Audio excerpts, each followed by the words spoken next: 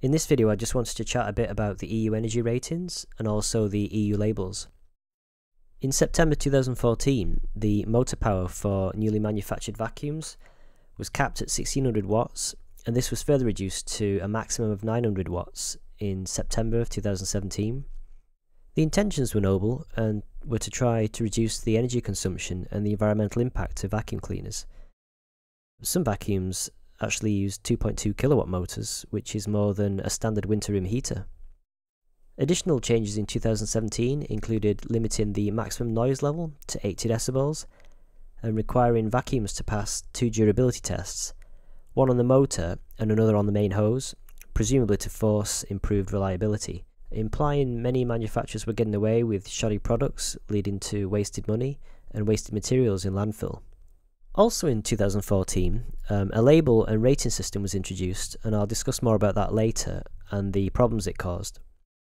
A lot of people's initial reaction to the EU rules was that reducing motor power would automatically make vacuums much worse and perform less well. The motor power in watts is actually a measure of the input power, or the power consumed in running the vacuum. But it doesn't automatically translate into better cleaning performance, which is actually a net result of many complex factors based on the principles of removing dirt from flooring, which I'll discuss in another video. Many people and groups out there who get to try a range of vacuums have seen this is the case, with many low wattage machines cleaning better than more powerful ones, and it's all down to the design why this happens. It turns out that, as of 2017, vacuums with the market leading performance can achieve better results than anyone by using only 700 watt motors. So this shows you genuinely don't need more than 700 watts to produce the highest levels of cleaning performance, and it is a genuine myth that more powerful energy guzzling motors clean better. Really smart and efficiently designed cleaners can actually outclass brute force machines which damage the environment. So a 900 watt motor limit is still actually very generous.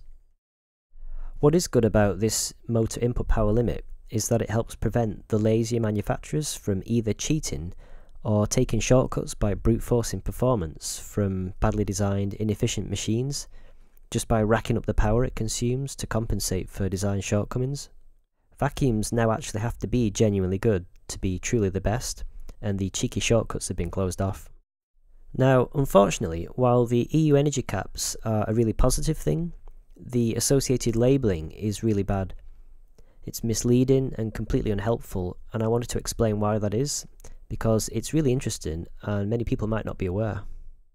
The EU rating labels that you find in the appliance boxes now were introduced in 2014.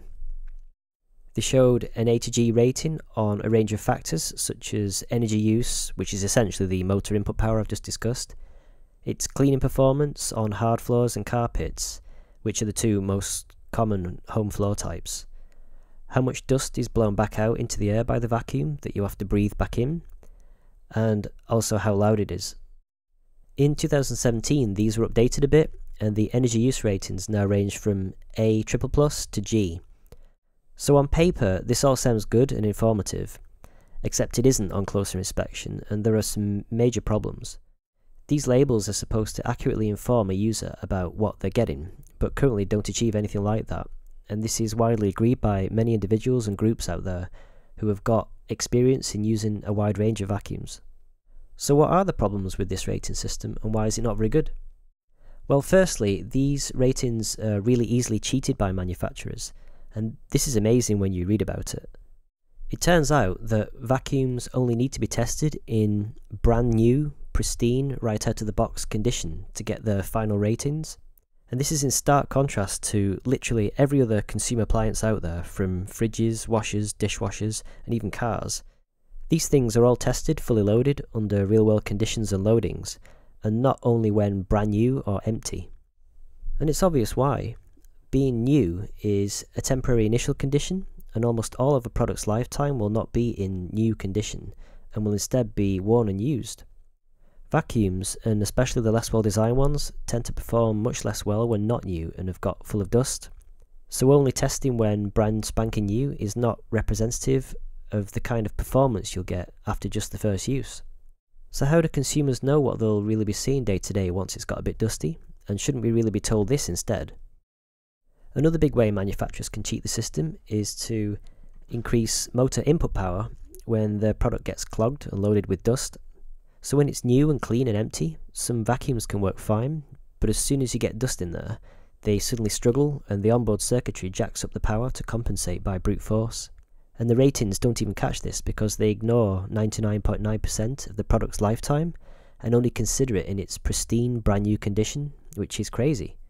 So while some vacuums may get an A rating on the label for energy when brand new and clean, and be seen by consumers as a really good product, they'll very quickly drop to much lower energy ratings for the rest of its life. For example, it turns out some 750 watt vacuums later draw over 1600 watts when they get clogged and for the rest of the lifetime, and that A machine drops to an E or an F rating. And because the labels don't capture this, consumers are being deceived. They think they're buying a really energy efficient vacuum that's cheaper to run, but without knowing it, they're buying a really gas guzzling mess, and it's scandalous. I've never seen anyone demonstrate universally that the labels equate one to one to the performance and practical experience you get during use, nor has this ever been my experience. And so another issue with the EU labels is with the value of the carpet or hard floor cleaning performance rating. What does it really mean in real world terms that a vacuum has, say, a C rating on carpets relative to an A rating? How is it even tested, and how do those tests represent real world use? It doesn't say anything on the label. Manufacturers test the cleaning performance of the machines using industry standard IEC 60312, which I'll discuss in another video, but the EU labels don't make it clear how they test or determine a rank. It's not clear what the difference is between an A and a C rating, it's just some vague letter. It turns out the real world difference in day to day use, in cleaning performance, in the top few grades at least, is likely fairly small given how vacuums are normally used. Also, high ratings don't necessarily equate to a good vacuuming experience. A good example of this is that some A rated performance cleaners can have heads that suck too hard on the floor and are permanently really hard to move. Or to achieve an A rating on carpets, some perform really poorly on hard floors and snowplow large debris.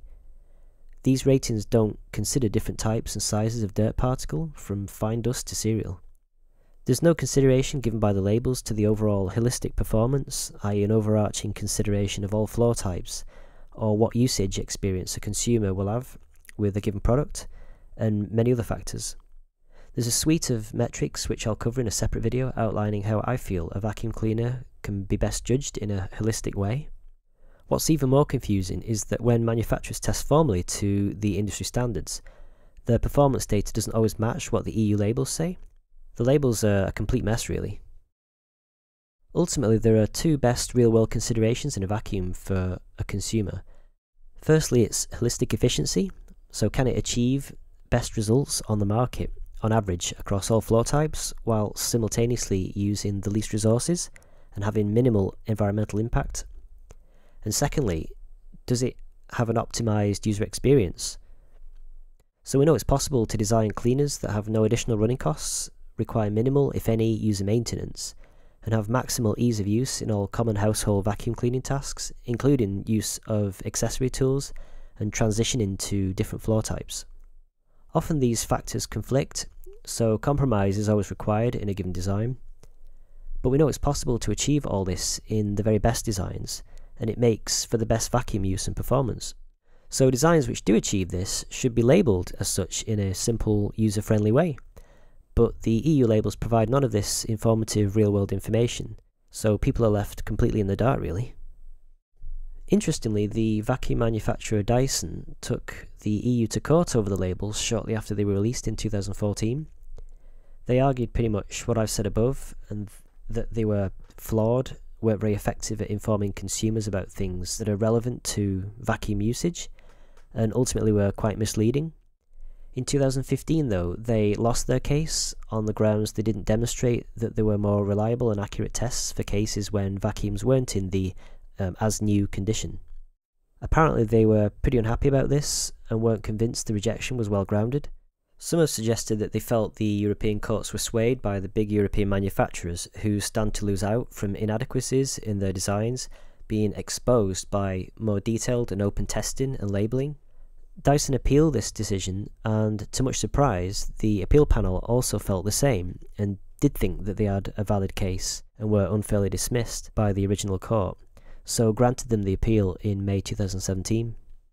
So Dyson now have a good opportunity to go back to the original court and argue their case, and possibly propose a test suite that can demonstrate a reliable test methodology for dust-loaded vacuums. It's definitely worth watching out for because the EU labels are clearly inadequate and a Dyson victory on this would only be in the best interests of consumers to help them make an informed choice about whichever vacuum products they choose to buy. So in summary, the 900 watt energy cap is seemingly good in every way that it's set out to achieve, and it ensures that only the best technology and designs can truly achieve the best results, regardless of what the currently flawed labels might say. It has been convincingly demonstrated that with good design, you can achieve the very best results using only 700 watts, so the 900 watt limit is still extremely generous. Lately, you might have seen people arguing that you should snap up um, the 1600 watt models while you can before they disappear, but this is faulty logic, really, for the reasons I've outlined in this video. There's no need to preference a high input power vacuum, and if anything, you're shooting yourself in the foot because there are better performing more efficient vacuums out there. The EU labels as of 2017 are completely unhelpful and don't provide a holistic measure of real world performance, the environmental impact over a product's lifetime, or how consistent the performance is with time and usage. Nor do they tell a consumer anything about the real world experience in using a given vacuum, such as how convenient it is to use for all common tasks and how it copes with various messes. I've outlined in another video what I feel the important criteria are to measure the holistic performance and experience of a vacuum in real world conditions, and the EU labels would benefit to at least alter to provide some of those metrics.